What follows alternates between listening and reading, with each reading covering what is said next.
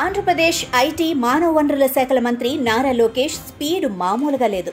మాట ఇస్తే కట్టుబడి ఉంటారు. అభివృద్ధి టెక్నాలజీలపై స్పష్టమైన అవగాహన ఉంది. రాష్ట్రానికి పెట్టుబడులను ఆకర్షించడంలో ఆయన తండ్రి నారా చంద్రబాబు నాయుడుతో పోటీగా సాగుతున్నారు. రెండు వేల పద్నాలుగు నుంచి రెండు వేల పంతొమ్మిది మధ్య కాలంలో రాష్ట్రానికి ఎన్నో ఐటీ స్టార్టప్లు వచ్చాయి. ఉద్యోగ ఉపాధి కల్పనలో అవి ఎంతో కీలకంగా మారాయి. రెండు వేల పంతొమ్మిదిలో జగన్ సర్కార్ వచ్చే వరకు ఆంధ్రప్రదేశ్ ఐటీ ఇండస్ట్రీ పరంగా హైదరాబాద్ బెంగళూరు చెన్నై పూణేలతో పోటీ పడింది. అయితే జగన్ రాష్ట్రంలో అధికార పగ్గాలు చేపట్టిన తర్వాత పరిస్థితి మారిపోయిందనుకోండి అది వేరే సంగతి. జగన్ హయాంలో ఐటీ మంత్రిగా ఉన్న గుడివాడ అమర్నాథ్ రాష్ట్రంలో ఐటీ ఉత్పత్తులు పడిపోవటానికి చెప్పిన గుడ్డు తీరి అప్పట్లో ఏ స్థాయిలో ట్రోలింగ్కి గురైందో తెలిసిందే.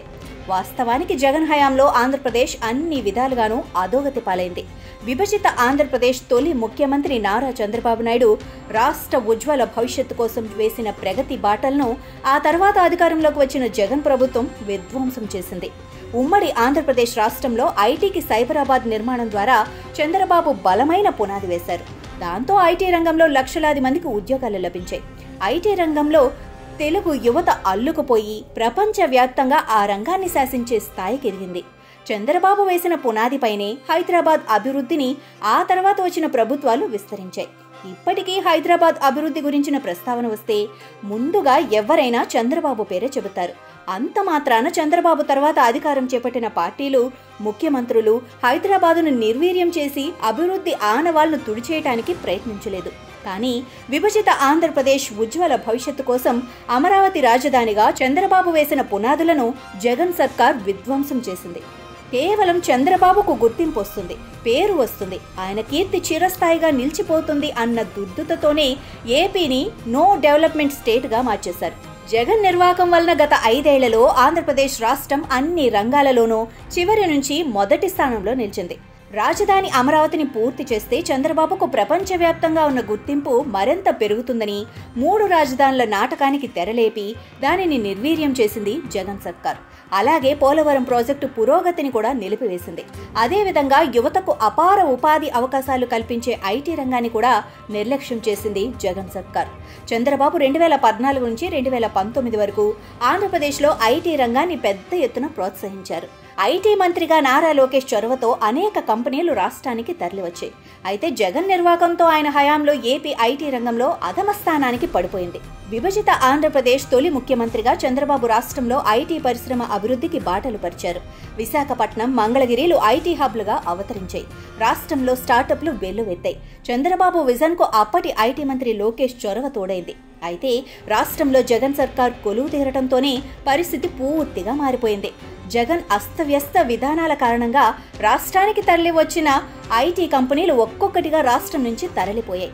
జగన్ హయాంలో రాష్ట్రంలో ఐటీ పరిశ్రమ కుదేలైంది. అవును జగన్ నిర్వాహకం వలన ఐటీ ఎగుమతులలో దేశంలో ఆంధ్రప్రదేశ్ అట్టడుగు స్థాయికి పడిపోయింది.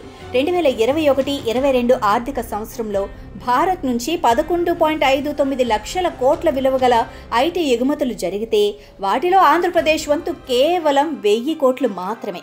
బీహార్ ఏపీ కంటే మిన్నగా రెండు వేల కోట్ల విలువగల ఐటీ ఎగుమతులు చేసింది. అంటే బీహార్ కంటే దిగువన ఆంధ్రప్రదేశ్ నిలిచింది. రాజస్థాన్ మధ్యప్రదేశ్ రాష్ట్రాలు మూడు వేల కోట్లు వెనుకబడిన అస్సాం ఇరవై నాలుగు వేల కోట్లు మేఘాలయ ముప్పై ఐదు వేల కోట్లు జార్ఖండ్ నలభై మూడు వేల కోట్లు హర్యానా యాభై రెండు వేల కోట్లు ఉత్తరప్రదేశ్ యాభై ఐదు వేల కోట్లు చేశాయి. గోవా ఒక లక్ష యాభై ఏడు వేల కోట్లు తమిళనాడు ఒక లక్ష యాభై ఎనిమిది కోట్లు తెలంగాణ ఒక లక్ష ఎనభై ఒక్క వేల కోట్లు మహారాష్ట్ర రెండు లక్షల ముప్పై ఏడు వేల కోట్లు అత్యధికంగా కర్ణాటక మూడు లక్షల తొంభై ఆరు వేల కోట్లు విలువగల ఐటీ ఎగుమతులు చేశాయి. కానీ ఆంధ్రప్రదేశ్కి ఎంతో మేలు చేశానని నిస్సిగ్గుగా చెప్పుకునే జగన్ పాలనలో ఐటీ ఉత్పత్తులు కేవలం వెయ్యి కోట్లు మాత్రమే. రెండు వేల ఇరవై ఒకటి ఇరవై రెండు ఆర్థిక సంవత్సరంలో సాఫ్ట్వేర్ ఉత్పత్తులలో కర్ణాటక మహారాష్ట్ర తెలంగాణ తమిళనాడు ఉత్తరప్రదేశ్ తొలి ఐదు స్థానాల్లో నిలిచాయి. మొత్తం ఉత్పత్తుల్లో ఈ ఐదు రాష్ట్రాల వాటా ఎనభై ఎనిమిది పాయింట్ ఐదు ఏడు శాతం. అయితే ఇందులో ఏపీ వాటా సున్నా పాయింట్ ఒకటి ఒకటి ఒకటి శాతం మాత్రమే. ఇది జగన్ హయాంలో ఆంధ్రప్రదేశ్ ఐటీ పరిశ్రమ దుస్థితి. ఇప్పుడు మళ్ళీ ఆంధ్రప్రదేశ్లో తెలుగుదేశం కూటమి సర్కార్ కొలువు తీరింది ఐటీ రంగం పుంజుకుంటోంది. పరిశ్రమలు తరలి రావడానికి సానుకూల వాతావరణం ఏర్పడింది. చంద్రబాబు విజన్ లోకేష్ చొరవతో రాష్ట్రాన్ని ఐటీ రంగంలో అగ్రస్థానంలో నిలిపేందుకు సానుకూల వాతావరణం ఏర్పాటు చేశారు. ఈ నేపథ్యంలోనే నారా లోకేష్ ఐటీ పరిశ్రమలను ఏపీకి ఆహ్వానిస్తూ బెంగళూరు ఎందుకు అమరావతి ఉండగా? అంటూ ఇచ్చిన పిలుపు తెగ వైరల్ అవుతోంది. ఇంతకీ ఆయన ఏ సందర్భంలో ఆ పిలుపిచ్చారంటే బెంగళూరులో సిద్ధారామయ్య సర్కార్ ఇబ్బందులకు గురి చేస్తోందంటూ పలు కంపెనీలు ఆ నగరం నుంచి తరలిపోవాలన్న యోచనలో ఉన్నాయి. ఆ విషయాన్ని ప్రముఖ పారిశ్రామికవేత్త దాస్ పై సోషల్ మీడియాలో పేర్కొన్నారు. వెంటనే స్పందించిన నారా లోకేష్ ఆయన్నే కాదు ఐటీ ప్రముఖులందరికీ ఆహ్వానం పలికారు. ఆంధ్రప్రదేశ్ ఇండస్ట్రియల్ పాలసీ పరిశ్రమల స్థాపనకు రాష్ట్రంలో ఫ్రెండ్లీ వాతావరణాన్ని కల్పిస్తుందని చెప్పారు. పెట్టుబడులతో వస్తే అన్ని మౌలిక సదుపాయాలు కల్పిస్తామని హామీ ఇచ్చారు. ఆయన పిలుపు వెంటనే వైరల్ అయింది కేంద్ర మంత్రి పీయూష్ గోయల్ సైతం లోకేష్ పిలుపునకు సానుకూలంగా స్పందించారు. దేశానికి మరో బెంగళూరు అవసరం ఉందని పరోక్షంగా అమరావతిని పేర్కొంటూ ప్రకటన కూడా చేశారు. బెంగళూరు అవసరం ఉందని ప్రకటించారు. పలు కంపెనీలు బెంగళూరు తర్వాత తమ డెస్టినేషన్ ఆంధ్రప్రదేశ్ అని బాహాటంగానే చెబుతున్నాయి.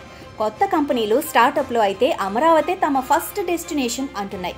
త్వరలోనే ఆంధ్రప్రదేశ్లో ఐటీ పరిశ్రమ బెంగళూరు హైదరాబాద్కు ధీటుగా ఎదుగుతుందని పారిశ్రామికవేత్తలు సైతం అంచనా వేస్తున్నారు.